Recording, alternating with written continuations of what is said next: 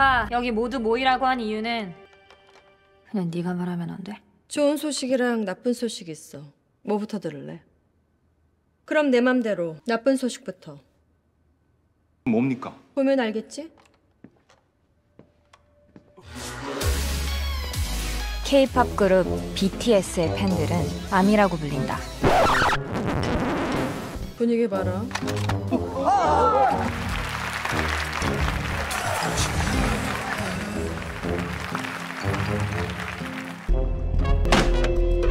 절대로 용납 못해.